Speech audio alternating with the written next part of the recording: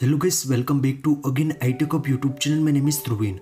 Here in this video, I will show you how to enable Face ID on Message app in iPhone after iOS 18 update. Recently, lot of iPhone and iPad users to say I went to iOS 18 enable Face ID on the Messages app. Now this questions is what is the process for that? Now first of all find out the messages applications and press and hold. When the menu is appear now simple tap on the require face ID and simple again confirmations require face ID. Now your iPhone will now perform face ID scan to verify your identity. Here the look at your phone as the normally when you unlocking it. After enable the face ID you will now need to use face ID each time when you want to open the app. I hope this video helpful for you. Thank you so much. Please subscribe my channel, like, comment and share. If you have any query about it, so please DM on my Instagram. Thank you so much. Take care. Bye bye.